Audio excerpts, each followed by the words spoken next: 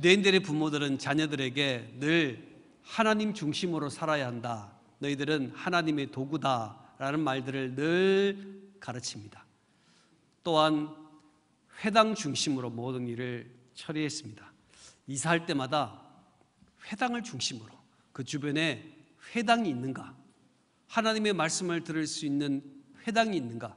걸어서 갈 수 쉽게 갈 수 있는 회당이 있는지를 생각하면서 회당 중심으로 살아갔습니다. 또한 그들은 랍비 중심으로 살아갑니다. 인생의 모든 일들은 영적 지도자인 랍비를 통해서 묻고 질문하고 대답하고 함께하는 그러한 신앙의 습관들을 가지고 유대인들은 자녀들을 양육했습니다. 기준이 분명한 거예요. 어떻게 자녀들을 양육할 것인가? 어떻게 우리의 가정을 꾸려 나갈 것인가에 대한 하나님 중심, 회당 중심, 랍비 중심으로 신앙생활을 가르치니까 자녀들이 삐뚤어진 성장 과정을 가질지라도 그러한 교육은 자녀들을 올바른 길로 인도해 주는 일들을 보았습니다. 하지만 오늘 이 시대를 살아가면서 현대 부모들은 분명한 기준을 가지고 자녀를 양육하는 것일까요? 우리는 어떤 기준을 가지고 자녀를 양육하고 자녀를 대하며 살아가고 있습니까? 현대 부모들은 세상 교육의 역량으로 1등을 해야 좋은 것이다. 1등을 해야 인생의 행복이 주어지는 것이다. 라는 가치관 때문에 자녀들의 교육에 특별한 관심을 가집니다.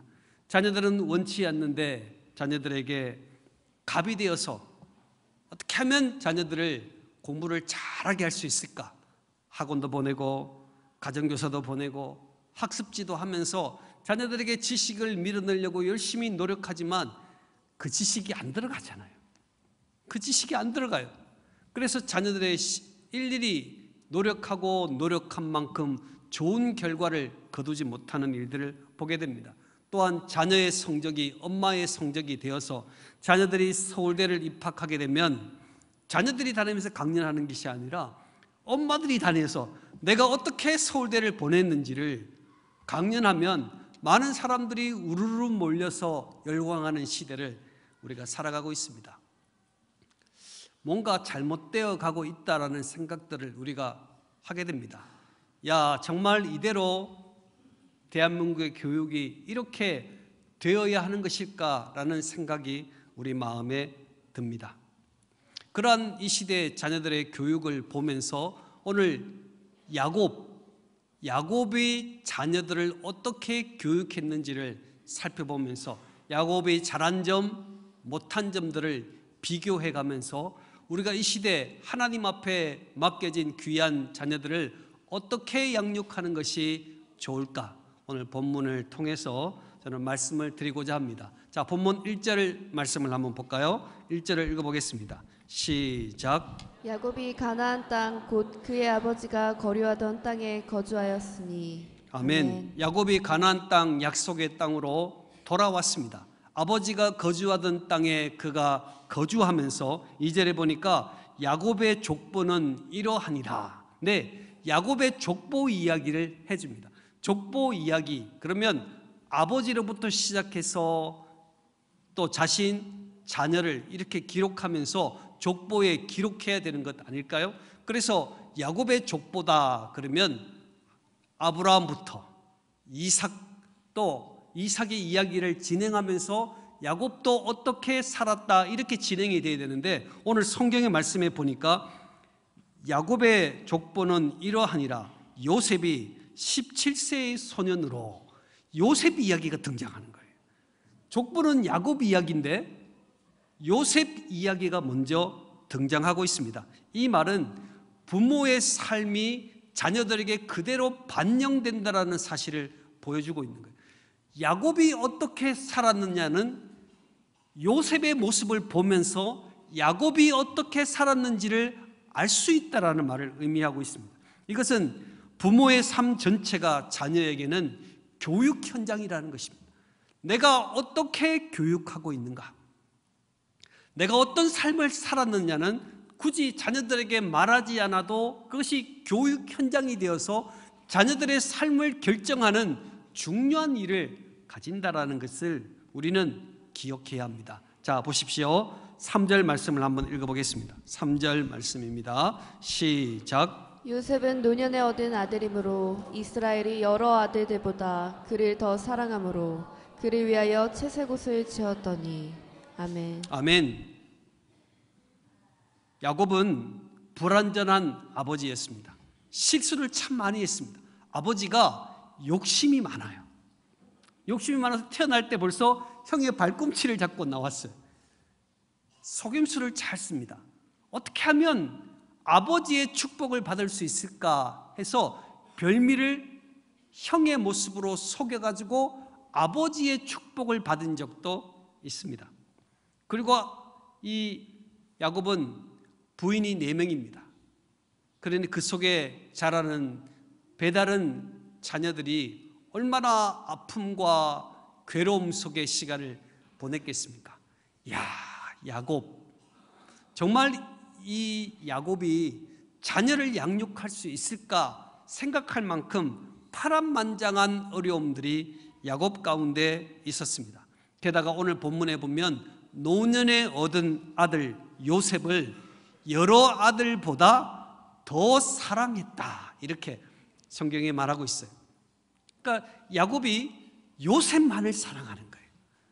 요셉을 너무너무 사랑하는 이 더 사랑했고 또 이 요셉에게 부족함이 없도록 그에게 필요한 것들을 생각하다 보니까 채색옷을 입혀서 그에게 멋있고 특별한 생활을 할 수 있도록 배려한 이 야곱의 모습을 우리는 보게 됩니다. 채색 옷은 염색한 옷을 의미합니다.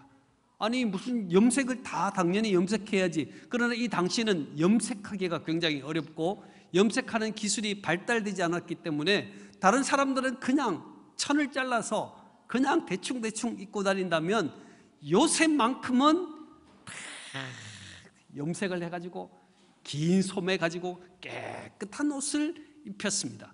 그러니 왕궁에서 볼만한 좋은 옷을 입히는 요셉을 보면서 사람들은 어떤 생각이 들었을까요? 게다가 이 채색 옷은 상속자를 의미하는 거예요.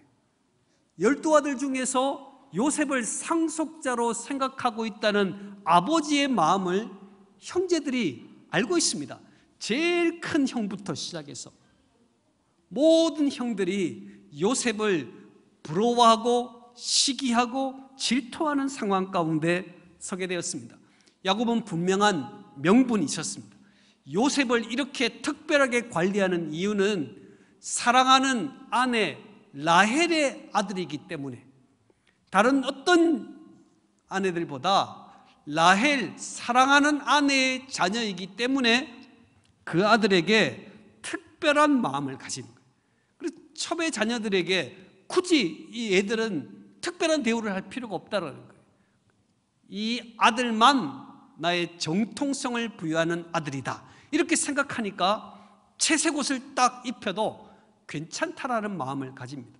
또 더불어 이 요셉은 다른 자녀들보다 의롭고 정직한 자녀였기 때문에 이 자녀를 특별하게 특별하게 사랑했습니다.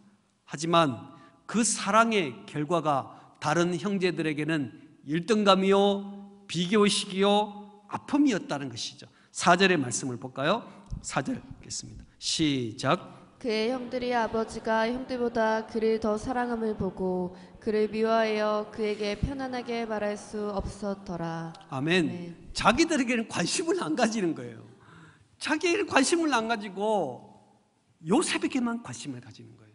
우리들도 이 시대를 살아가면서 어린 시절을 생각해 볼 때 부모가 내게는 관심을 안 가지고 자꾸 형만 관심을 가지고 누나만 관심을 가지고 이런 비교와 차별의식 속에 자랐던 많은 이들이 우리 가운데 있을 것입니다.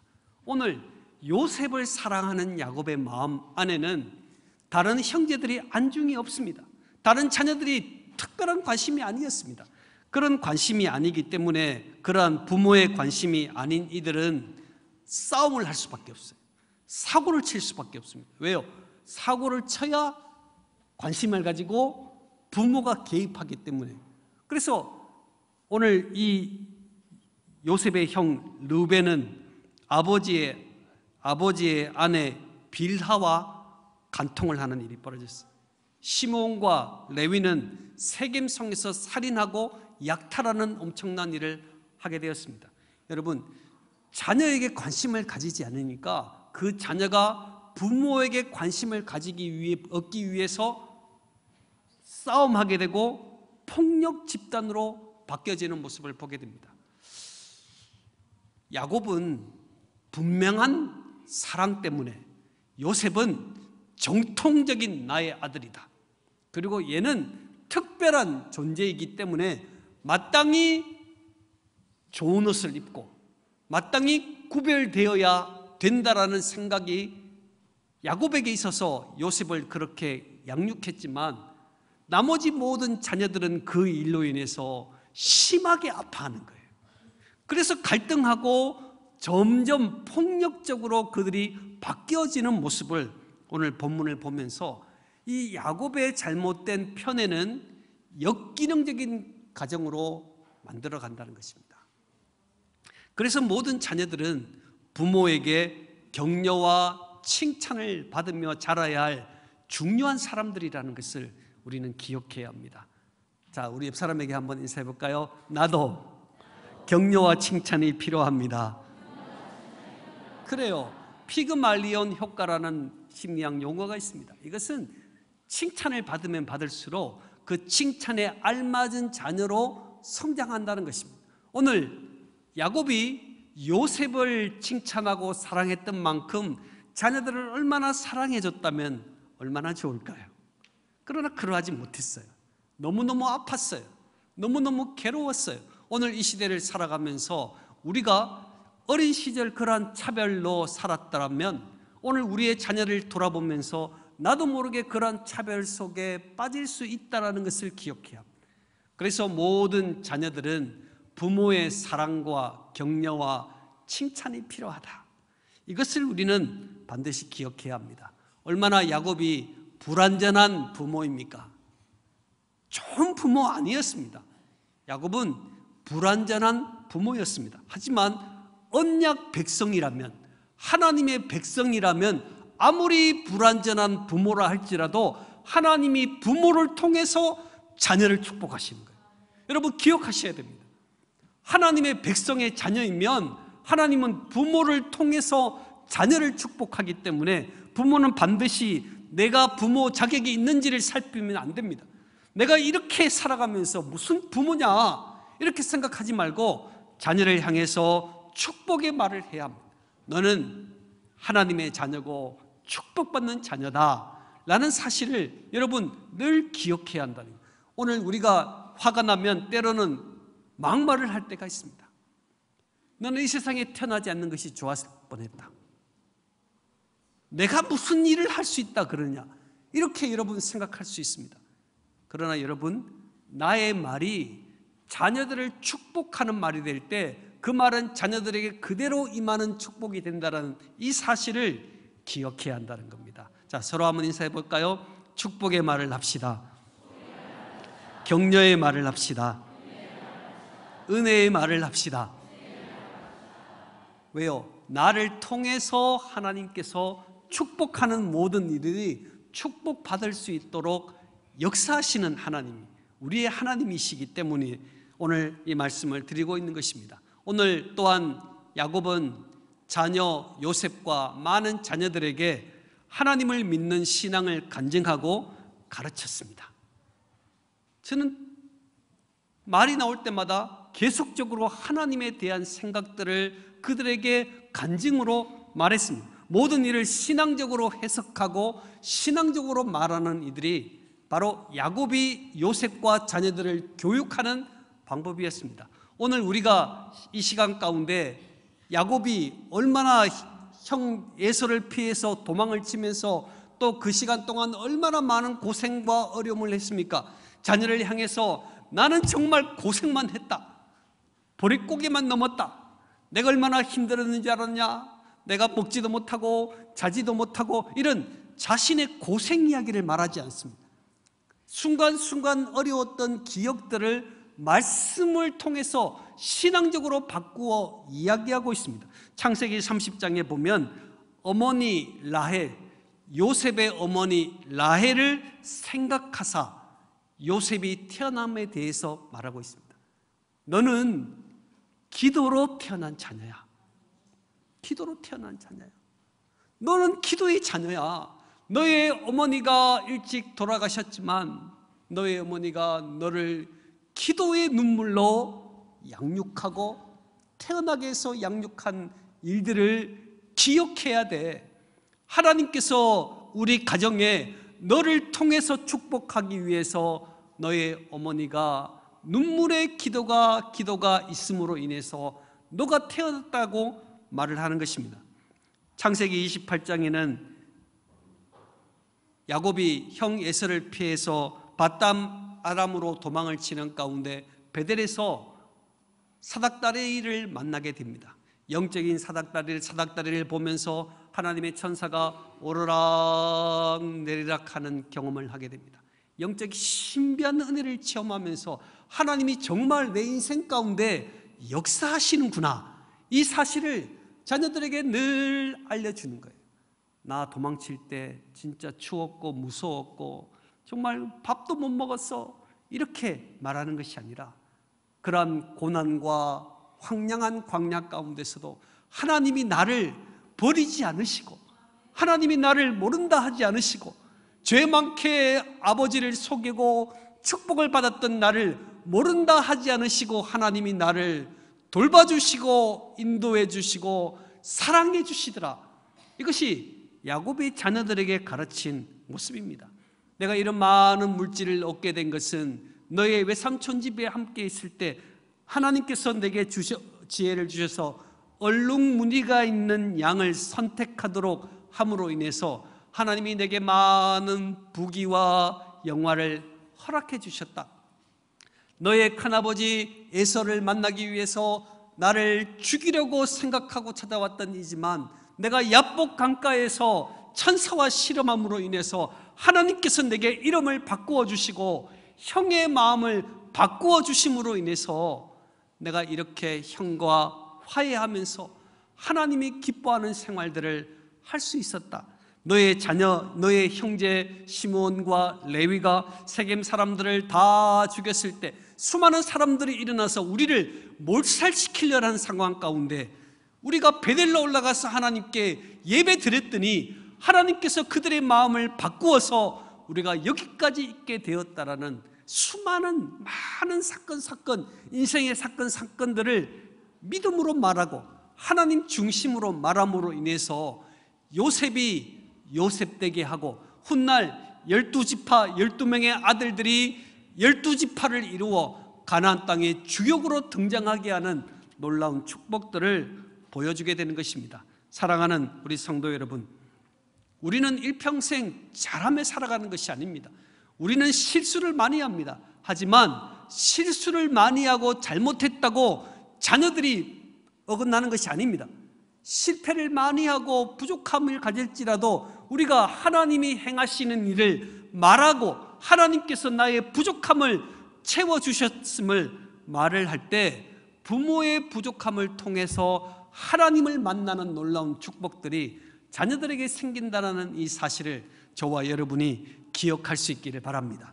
같이 해볼까요? 부모는 자녀에게 자녀에게 하나님의 마음을 알 수 있도록 돕는 자다. 하나님의 마음을 알 수 있도록 돕는 자다. 그래요. 부모는 자녀에게 하나님의 마음을 알 수 있도록 도와주는 사람이라는 거예요. 그래서 우리는 늘 하나님 이야기를 해야 합니다. 하나님이 내 삶 가운데 어떻게 역사하신 분이고 나는 어떻게 이 자리에 있는 존재인가를 늘 우리는 기억해야 합니다. 우리 자녀를 향해서 이 아빠가 대단한 사람이야. 여러분 그거 아닙니다. 우리가 대단해서 이 자리에 있는 것이 아니라 우리의 부족함을 하나님이 채워 가시기 때문에 오늘 저와 여러분이 있다는 이 사실을 기억할 때 우리의 자녀들을 하나님 앞에 올바로 성장시킬 수 있는 부모가 되는 것입니다. 또한 부모는 자녀에게 무조건 안 된다고 말하는 삶이 아니라 이런 이렇게 살아가면 더 나을 것 같다고 대안을 말해 줄 수 있는 부모가 되어야 한다는 거예요. 대안 없는 권면은 좋은 권면이 아닙니다. 안 된다고 말하는 부모가 아니라 이렇게 살아가는 것이 하나님이 더 좋아하실 것 같다고 대안을 말할 수 있는 부모, 이런 부모가 이 시대 가운데 필요한 삶을 살아가고 있습니다. 오늘 야곱의 교육을 보면서 우리는 특별한 야곱의 교육의 모- 이 교육의 모습을 오늘 본문을 통해서 볼 수 있습니다. 2절 한번 읽어 볼까요? 2절 말씀입니다. 2절 시작. 야곱의 족보는 이러하니라 요셉이 17세의 소년으로서 그의 형들과 함께 양을 칠 때 그의 아버지 아내들 비라와 실바의 아들들과 더불어 함께 있었더니 그가 그들의 잘못을 아버지에게 말하더라 아멘. 아멘. 자, 오늘 중반절에 보면 그 형들과 함께 양을 칠 때 그의 아버지 아내들 비라와 실바의 아들들과 더불어 함께 있더니 그랬습니다. 자, 이 말씀이 굉장히 중요한 말씀입니다. 요셉을 너무너무 사랑했잖아요. 야곱이요. 요셉을 너무너무 사랑해 가지고 요셉에게만 특별한 옷을 입힐 만큼 그렇게 그렇게 요셉을 사랑했습니다. 그런데도 요셉에게 양을 치는 일을 맡겼습니다. 너무 사랑하면 그렇게 좋은 옷을 입혔는데도 입히고 특별 대우하면서도 그에게 양을 치는 일을 정확하게 맡겼어요. 이 말은 자녀를 나태하거나 허약하게 양육하지 않았다라는 거예요. 너는 특별한 자녀니까 곱디 곱게 자라야 돼.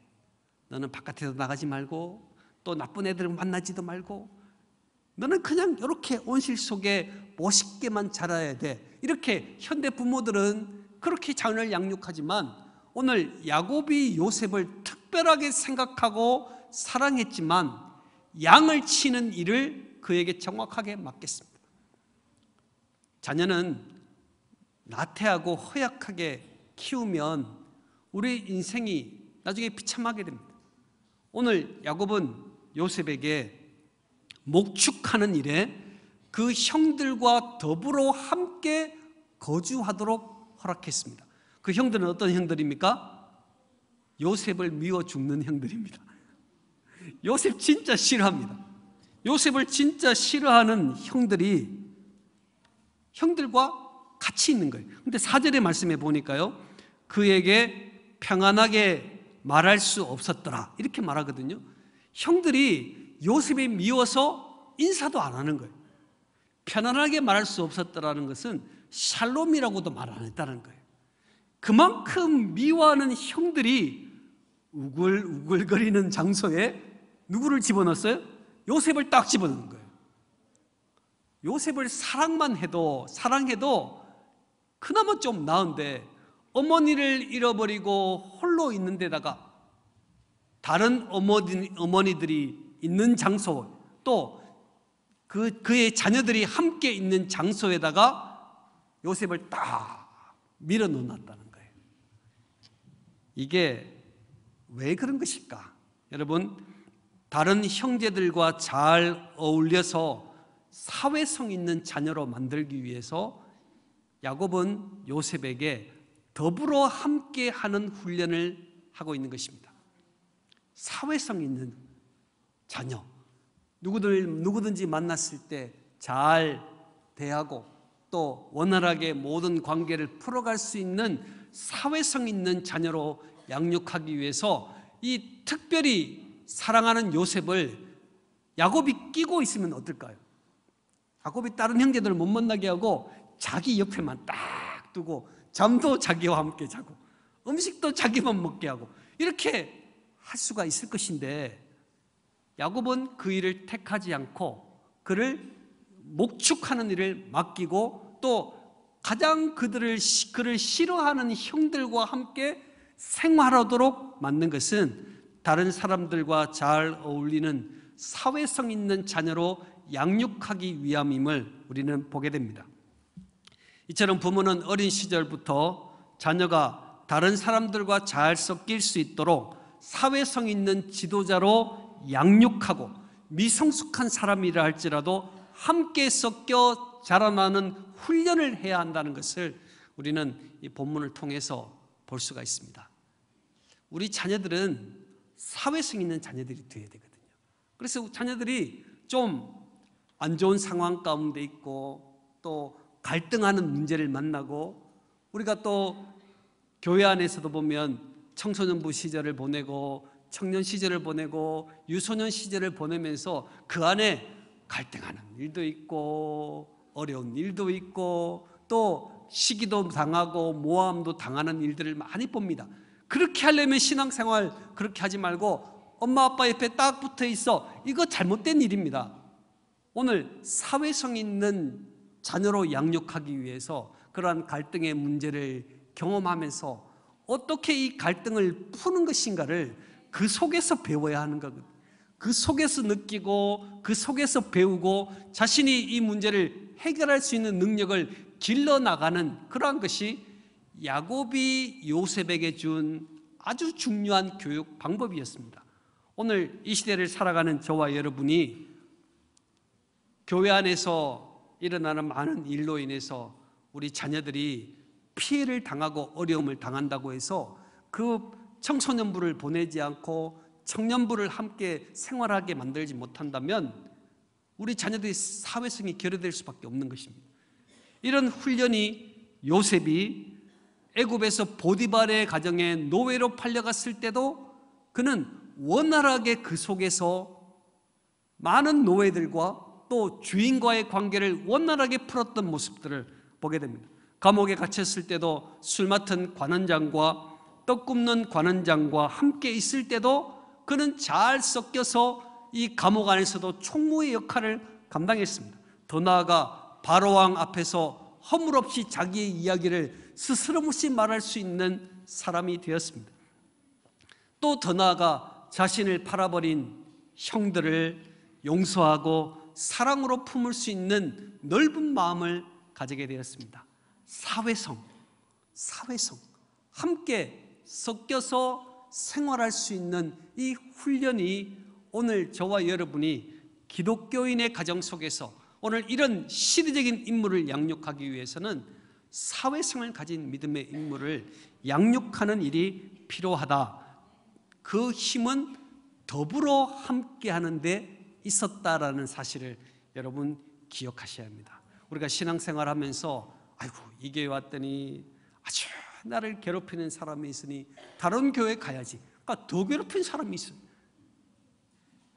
문제는 그 속에서 해결해야 합니다. 같이 해볼까요? 문제는 어려운 일은 그 속에서 해결하는 것입니다. 그래, 우리가 사회성을 가지지 못하면 여러분들이 자꾸 그 사회성을 개발해야만 자녀들이 그 사회성을 가지고 원활하게 믿지 않는 자들과 불서, 이 성숙하지 못한 이들과도 잘 관계하면서 신앙생활 가질 수 있는 힘을 가지게 됩니다. 또한 야곱이 요셉을 양육했던 특별한 교육 방법은 순수함을 잃어버리지 않고 정직하게 살도록 양육한 것입니다. 자, 2절 말씀에 보면요.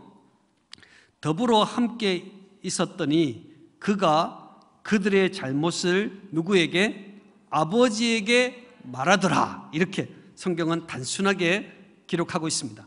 그의 형들의 잘못을 아버지에게 말하더라. 이것은 흔히 말하면 고자질하더라 이 뜻입니다. 그런데 보십시오. 그 형들이 어떤 형들입니까? 자기를 사랑하는 형들입니까? 잘 지내는 형들입니까? 그러면 좀 형이 이렇게 그러면 좀 나을 텐데 미워 죽는 형들입니다. 아 요셉이 미워 미워서 감당할 수 없는 미움을 가진 그 형들이 악한 행동을 하는 거예요. 악한 행동을 하니까 그 요셉이 악한 행동을 하는 형들의 모습을 파악하고 아버지에게 그대로 일러줍니다. 이걸 보면서 어떤 분들은 아 요셉은 고자질쟁이다. 이거 잘못된 모습이다. 이렇게 말을 할 수 있겠습니다. 하지만 요셉은 그러한 고자질의 모습이 아니고요. 형들의 나쁜 행실을 동참하지 않았다라는 거예요. 모든 형들이 나쁘고 악한 행동을 계속하고 있는데 요셉이 나도 모르게 슬그머니 동화돼 가지고 자기도 나쁜 행동을 하고 있는 그런 모습이 아니라는 거예요. 오늘 형들이 나쁜 행동을 하고 악한 행실을 할지라도 요셉은 동화되지 않고 형들의 잘못을 아버지에게 알렸습니다. 그 이야기를 들은 야곱은 요셉을 너는 그렇게 하면 되겠니? 이렇게 말하지 않았어요. 요셉의 이야기를 들었습니다. 왜요?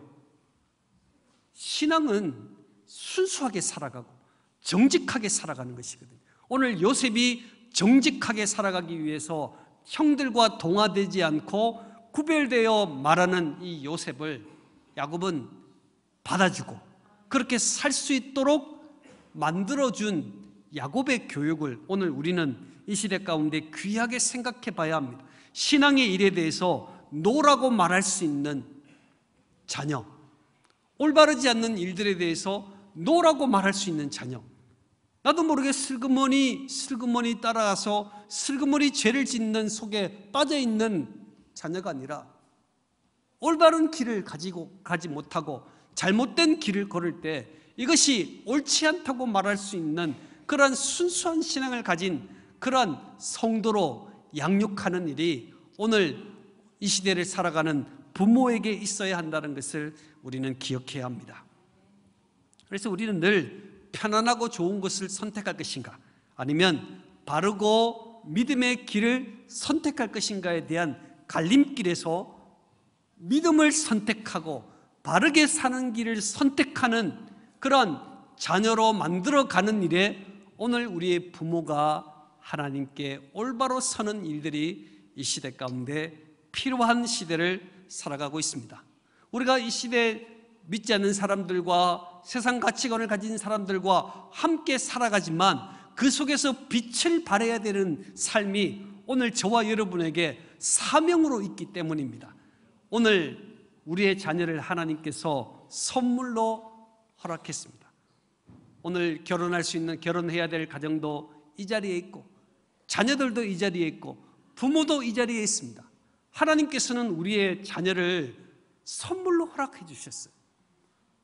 하나님의 선물이고 하나님께서 우리 가정에 보내신 가장 귀한 선물, 우리의 자녀들을 어떻게 양육할 것인가? 어떻게 양육할 것인가? 오늘 이 제목을 가지고 저와 여러분이 말씀을 받고 있습니다.